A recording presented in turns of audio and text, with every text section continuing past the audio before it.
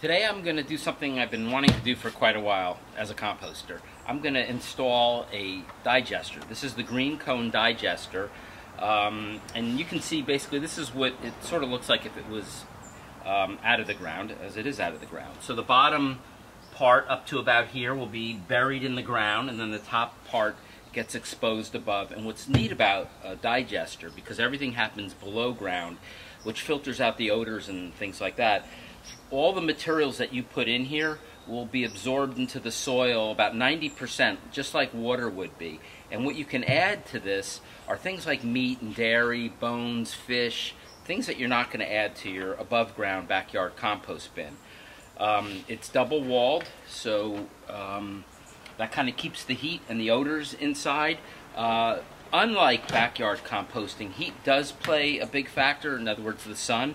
So you want to pick a spot that's that gets a decent amount of sun as opposed to somewhere that's shady. So pick a spot that's that's sunny and also you want to make sure that you're not in an area that tends to flood when when you get a lot of rain in your on your property. So um, you know having this thing fill up with water wouldn't be such a great thing. So you want to make sure you're in a spot that's that's got um, some good drainage and drainage away from the cone.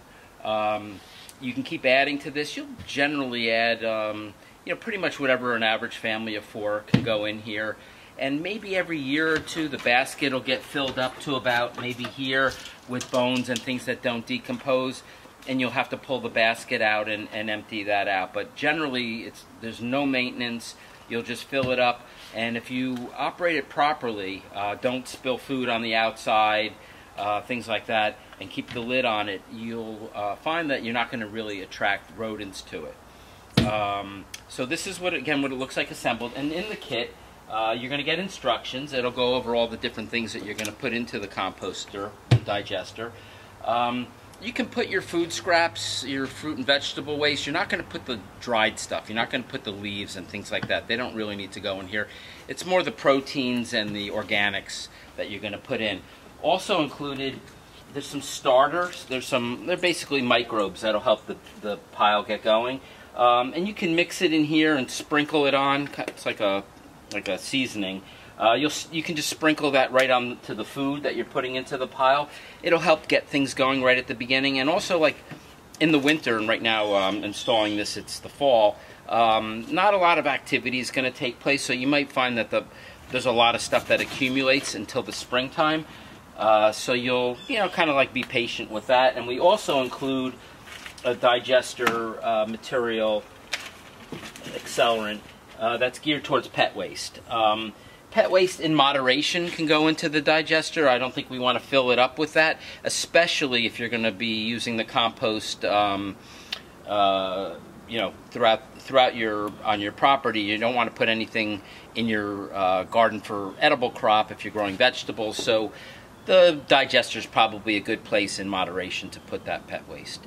Um, all right, so what I'm going to do now, I'm going to install the lid. That's the only real thing you need to do besides digging the hole. Um, it's pretty easy. Just requires a flathead and a Phillips head screwdriver. And it does come with these uh, little tools that you need to use to put everything together. Okay, so I'm going to put these things out in case, case you're interested in seeing what's going on here. Okay, so um, basically what we're going to do is we're going to attach, thank you, we're going to attach the stopper, which is where the lid will lock in on the top. And we can do that with the Phillips head screws. And that goes down.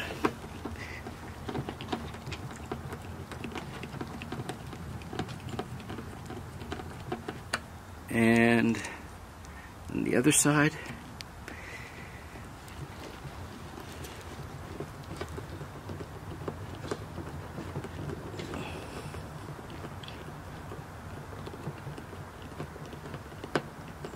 okay so that's just going to keep the lid in place um, not locked but it'll keep it in place now I have to attach the lid so that's kind of easy also so they supply you with this little piece right here and the this part gets attached.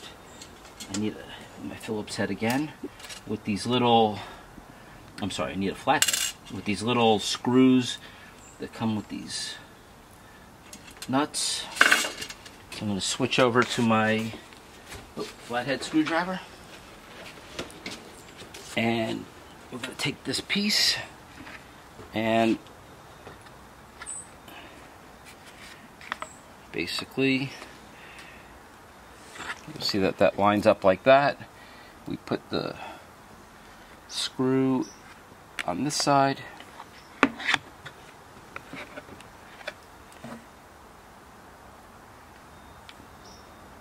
I'm gonna just basically do the same thing on the second side. So I'm attaching the screw and the nut inside there.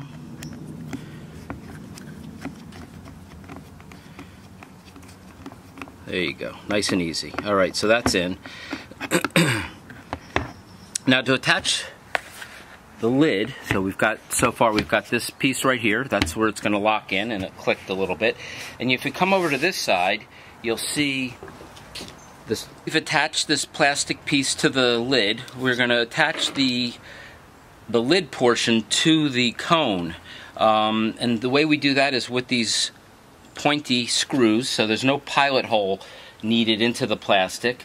Um, so we're just basically gonna, with a little bit of muscle, get this thing to go into the plastic, the screw into the plastic. And once it gets going, it's threaded, it'll continue pretty quickly. Okay, so um, two more that I'll attach.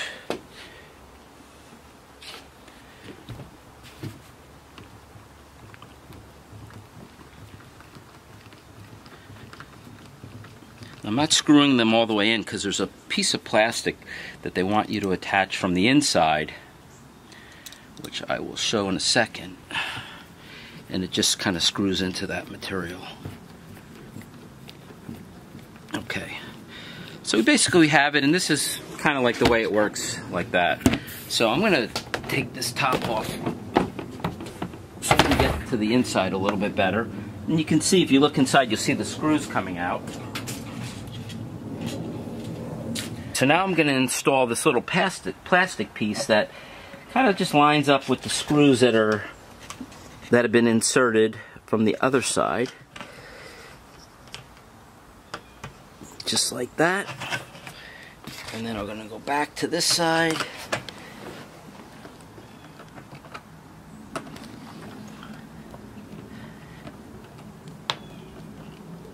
Alright, I feel it coming through there.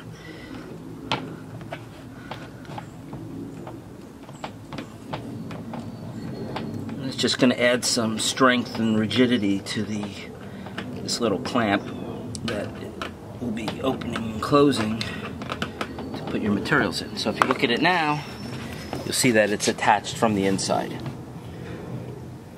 And that is basically all we need to do to get our green cone set up and ready for installation. Okay, so now I'm going to install my green cone digester, and I've picked a spot, I think it makes sense to have it near my, my backyard composter, the earth machine, where I add my basic everyday um, food scraps. I've got my stockpile of, of uh, browns available, so every time I add my material, I've got that in there. And um, I've even got some grass clippings mixed with leaves that we just, I collected, actually my neighbor Garrett gave me uh, so I can mix it in. That's like a perfect mixture because it's got the browns and greens kind of already mixed in there. Um, but I'm going to deal with that later. And you're not going to put that in a digester. You're just basically going to put food scraps and proteins and cooked food. You can put pasta and bread and rice and things that you wouldn't ordinarily put in the earth machine is what you can put in the green cone. Um, so the first thing to do with the green cone and installing it, um, tell you the truth, dig in that hole. Um, so when you dig the hole, you want to be careful um, to, to kind of like check out the soil. So if the soil is very dense and kind of like a clay soil, a little bit like what this is here, you may want to add some gravel at the bottom. And I'm going to do that. I'm going to sprinkle some gravel in the bottom just to help with the drainage. Um, what I did also before doing this, I took a bucket of water and I put it in there, and it drained pretty quickly. If you put water in your hole in the hole for your digester, and after about 15 minutes, 10 minutes, it hasn't absorbed into the soil, you're probably in an area that that really is not getting great drainage. So you might want to go a little bit deeper and add some more gravel. But I'm comfortable with uh, the amount of gravel I put in here because it, it did drain pretty quickly, even though it does look like it's uh, it's like a clay soil. So I'm going to install the basket portion, and when we put the basket in the ground, we want to get it about an inch or so under the soil so that we can bury the, the green part, the green cone, when we install that. Okay, so we've got that on the ground, and the next piece is going to be the, the black cone. That's going to go on top. Okay, just like that. Nothing clicks in or anything like that. Um, I do have screws that are going to attach the black and the and the green cone together. Now, I want to keep in mind how I'm going to be opening this so that it's convenient when I come to the cone and I'm ready to add materials to it. I want to make sure that the opening is like this. Okay, so got it positioned. Um, got my screwdriver. Need your Phillips head for this. And you're basically going to find that opening again. Here you go.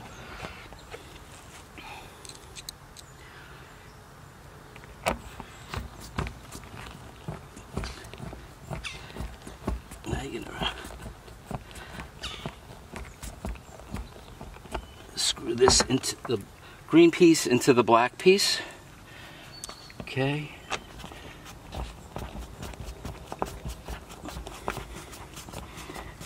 Just like that, okay? So uh, I will go back and I'll finish that, that up in a little bit. But what you're gonna do then is you're gonna, you're gonna backfill. You wanna basically co cover about an inch high onto the green cone. Again, this will keep the any odors from coming out of the bin and it's the proper way to install it to make sure water isn't getting into the side of the bin. You might want to check it after it rains a couple times just to see if any of the soil has kind of like uh, washed away just in case you need to add some more. Okay.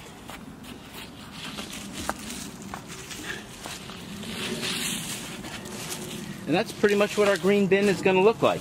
Um, my neighbor, leaning on my neighbor a little bit, it's nice to have good neighbors with tools. I borrowed his post digger. That helped a bit. Um, and my shovel here, pointy garden shovel, uh, worked pretty well. It took, took a little bit of muscle and sweat, um, so I'm not gonna lie to you. So you gotta be a little bit patient. Maybe uh, maybe get your landscaper or, or, your kid to help you with that. Uh, so you do have to dig a hole. Um, and then once I fill that, that in, I'm gonna kind of like raise it up a little bit just to make sure water doesn't get in there when, when it rains. This is an area that does sometimes accumulate a little bit of water, but I don't think it, this area here is pretty secure from that. So um, I think we'll be pretty good. Um, so again, we're gonna put in meat and dairy. Oh, Chase is here. Uh, yeah, sometimes we're gonna put in a little bit of pet waste. Um, not, not a heck of a lot, but we're gonna put some in there. And um, most of the my, most of my veggies and stuff like that are going to go in the earth machine, and I'm going to stick mostly with the proteins and stuff that I don't put in the earth machine. I'm going to put in that, um, and that's uh, pretty much how you get your digester going. So uh, give it a shot. I think it's uh, it's a neat option. Right now, you you kind of have a, a bunch of different options for your solid waste these days.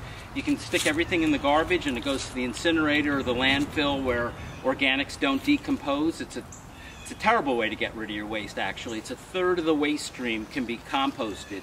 So between a composter and a digester, we can take a tremendous amount of the waste from the waste stream and avoid sending it to the landfill. Um, other options these days, there are a lot of communities where you can collect your organics, including the meats and the bones, and bring a bucket to your recycling center every week, and you can drop it off there. There are communities where they're doing curbside collection, so people are taking a five gallon bucket or what have you, and they're putting them at the curb, and the town's got to come around and get it. What I like about what what we're offering here, these these options, is that you can do it in your own backyard. Um, you want to have your compost bin because you want to use your compost when it's done. And you put the, the materials in here. It's much better, I think, than sending your a, a truck around every day to pick up organic waste. So of all the options between putting the stuff at the curb or sticking it in your car and driving it or sending it to a landfill or incinerator, I really like these ideas. I hope you do too. And um, if you want to get started with uh, a digester and or a composter, I wish you a lot of luck. It's very easy. And um, if you have any questions, you can email us anytime and we'll take care of getting back to you right away. Thank you.